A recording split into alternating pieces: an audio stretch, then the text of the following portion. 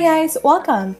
In this video, we'll talk about how to efficiently farm with the Bard and Clown class in order to level up into the Minstrel third job in no time. We'll discuss the most important stats, skills, runes, equipment, cards, farming spots, and tips needed to maximize the farming capabilities of the Bard and Clown class. Hopefully by the end of this video, you'll have a better understanding on how to level up faster to the Minstrel third job. Alright, without further ado, let's begin. First, we'll start with the stat build. Since this build is focused on grinding, we will only put points on attributes that can increase physical attack. The most important stat to pump first is Dexterity as it increases range physical attack. However, since the farming skills of Bard consume tons of SP, you also need to add points on Intelligence for faster SP recovery. Int can also increase physical attack when the Int switch runes are activated. There's no need to put points on Vit or Agi for survivability, since this is just a farming build and our priority is to one-hit mobs with high damage output. However, if you feel the need to add Vit or Agi for increased HP or flee, it is up to you. Next, let's discuss the most important skills to get.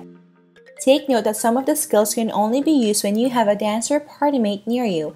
These are called ensemble skills. For the archer skills, you should allocate points on level 10 Vulture's Eye for increased range and hit, level 10 Owl's Eye for plus 10 dex, level 10 Elemental Arrow for plus 30 attack, and lastly get level 10 Arrow Shower since the damage of the Minstrel skill, Raging Storm, is activated by the damage and level of Arrow Shower. For the Bard skills, you may get level 10 Instrument Attack as this will be your primary farming skill. It has a long range and fast cast delay which greatly increases farming efficiency. Do take note that you can only use this skill when using a musical instrument. Then get level 10 Use Musical Instrument for additional attack when using an instrument weapon. Next, allot points on level 10 Mr. Gold is rich. This is the only ensemble skill that is useful when farming since it grants higher EXP to teammates within an area. However, this skill is still buggy as it doesn't activate automatically when you put it on auto.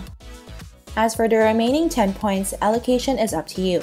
You may get momentary adaptation to stop a solo or ensemble skill, but this can actually be done by just unequipping then equipping again your musical instrument or by moving out of the ranges of the ensemble skill.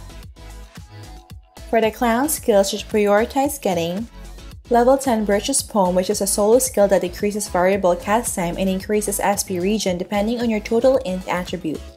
This is an important skill for farming to ensure that you have unlimited SP pool. Next, put points on level 10 musical instrument proficiency to further increase your damage output. Then get Arrow Vulcan which is another single target farming skill that deals higher damage compared to instrument attack. Choosing between instrument attack and Arrow Vulcan depends whether you can consistently one-hit mobs. It is easier to achieve one-hit kill with Arrow Vulcan than instrument attack since it has higher damage modifiers. In addition, there is a rune that increases attack by 3 for every 10 SP remaining when the damage of Arrow Vulcan is being calculated. However, in terms of farming speed, Instrument Attack is superior, since its cast delay and cooldown is shorter than that of Arrow Vulcan. Hence, just use Instrument Attack if you can already one-hit your target mobs. Next, get level 5 Don't Hold Me Back to allow movement when using ensemble skills. And lastly, allot the remaining 5 points on level 5 Encore to reduce SP cost when repeating the same solo or ensemble skill. Once you have reached Job Breakthrough, you may allocate the additional skill points on the following. Level 20 Use Musical Instrument and Level 15 Musical Instrument Proficiency for plus 10% damage increase and plus 5% attack respectively. Then allot points on level 15 Mr. Gold is rich to have 100% increase in job and base EXP gain. Please note that your dancer partner should also max the skill to get a full 100% increase in EXP. And lastly, you may get level 20 Elemental Arrow for higher attack, since there are runes that give free attack per level of Elemental Arrow.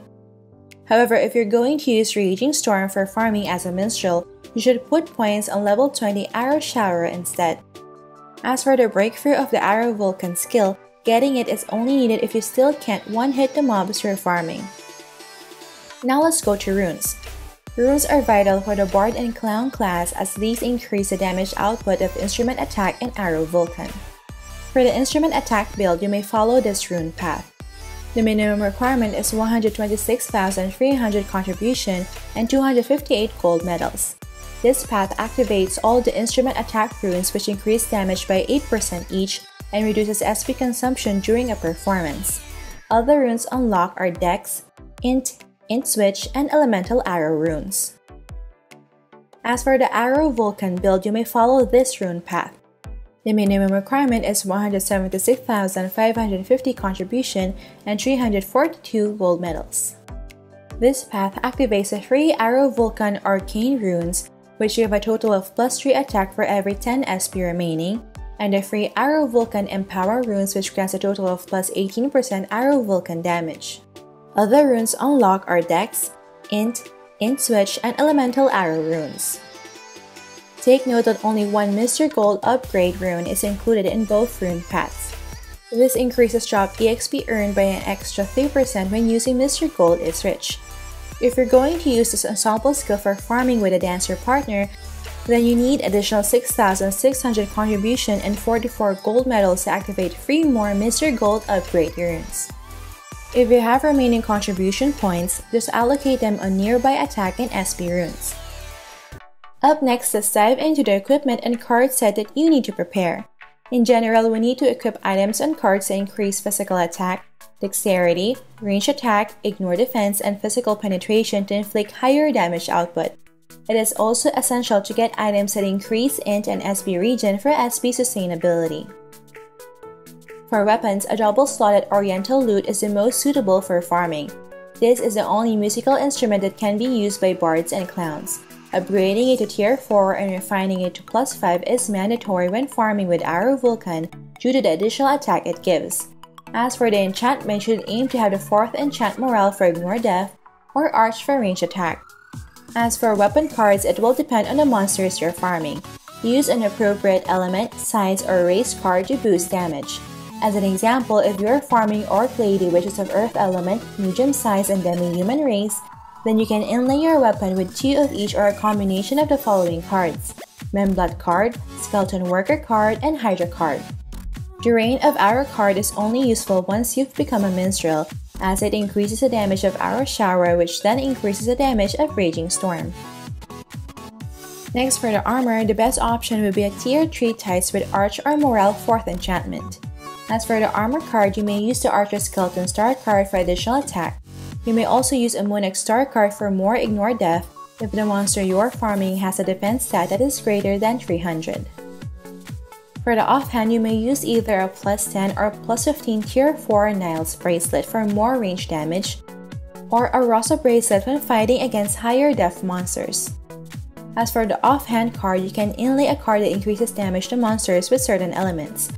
As an example, equipping a Draco card increases damage to earth monsters by 5%, perfect for farming the Orc Lady. Another option is a Year of the Big Blessing card, which increases base EXP gain from killing monsters by 3%. Up next for the garments, the best option is a tier 4 plus 12 ancient cape as it gives additional ignore def and attack. Then inlay a toad card for plus 4 dex or a new year blessing card which increases job EXP gain from killing monsters by 3%.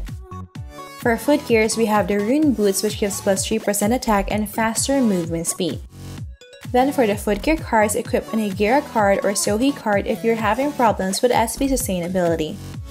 If not, then you may use a Unit 01 card from the EVA event which gives plus 10 attack and plus 2 dex.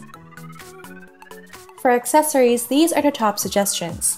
First, we have a tier 9 Lunar Brooch for additional attack, dex, int, and SP regen. This is also relatively cheap and easier to slot. Second is the Meteor's Leash which gives higher attack compared to the Lunar Brooch, although this is more expensive to upgrade and slot. Third is a Tier 3 Gloves for additional attack and dex stat which is also good as a starting accessory. And lastly, we have the Dogtooth Gloves which is a final tier upgrade of the gloves. It is the best endgame accessory for minstrels at plus 12 refinement and max tier due to the huge damage modifier. However, this is the most expensive out of all the options. As for accessory cards, you may inlay a Zipper Burst Star card for a plus 3% attack, Zerom card for plus 4 dex and plus 1 int, or any damage modifier card. Examples are the Kaho card for Earth Element monsters, the Ultraman card for Brute and Demon monsters, and the Scorpion card for Plant monsters. Lastly, for the headgears, these are the suggested items. For the head, a cheap but really good starting gear is the Cat Ear Beret. You may also use the Ice Apple from the Gingerbread City Quest or the Orb Doll Hat for plus 4% base and job EXP from killing monsters. For headwear cards, you may use an Andre Star card for higher damage. If your SP drains rapidly, you may use an Incubus card for SP regen. For the face, use a Dragon Skill Stripe for more int and dex, or Nut on Head for plus 5% ignore def. You may also equip a hockey mask when farming Orc Lady. For the mouth, we have the blowgun, or the spike scarf when farming Orc Lady. For the back, equip a quiver or a devil wing for higher damage. And lastly, for the tail, get the beast tails or the Purico Picha. If you want to spend real money on this game or want to try your luck using free vouchers, then you can use the following gacha items from the Fantasy Generator machine the same equipment from the Fantasy Generator Machine 2 as they grant additional base and job EXP when killing mobs. The Nidhogg's Poison Fang head item as it increases damage by 10% and gives plus 5% job EXP from killing monsters. The Frost Masquerade Mask face item which increases attack significantly. The Dream Move Silk mouth item for increased penetration or Dusk Veil for more attack and job EXP the blue Islet Sea back item for additional attack and job EXP, and the Wind Perch Drake or Gutswing tail item for more damage. As for pets, you may choose any of the following. Sohee or Marionette for helping with SP regen, the Viruchi Smoky or Joltras for plus 40 attack, Desert Wolf Baby, Peco Peco or Alice for plus 5% ignore def, Overall, I think the Joltris is the best pet to have as it does not only increase attack, but also increase physical penetration by 2%. Lastly, here are some tips you need to take note of when farming.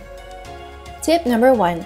For your auto skill slots, just put an instrument attack or arrow vulcan and Birch's poem to sustain SP. If you have a dancer partner, then replace Rich's poem with Mr. Gold is Rich.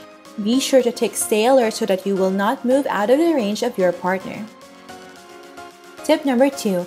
Using converters will significantly increase the damage against monsters with elemental weakness.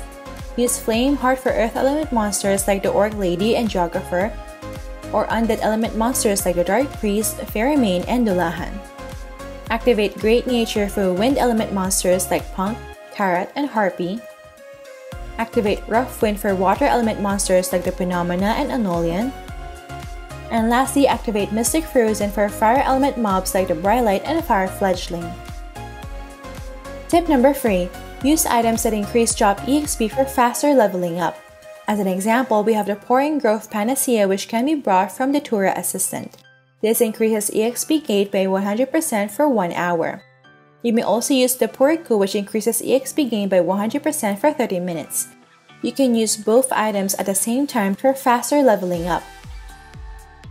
Tip number 4. To boost damage, you may eat cooked foods that increase attack and movement speed, such as the original Will fish steak or Prontera Royal fish steak to get your targets faster. You may also use the new secret recipe Satisfied Feast which gives plus 40 attack and plus 2.5% penetration.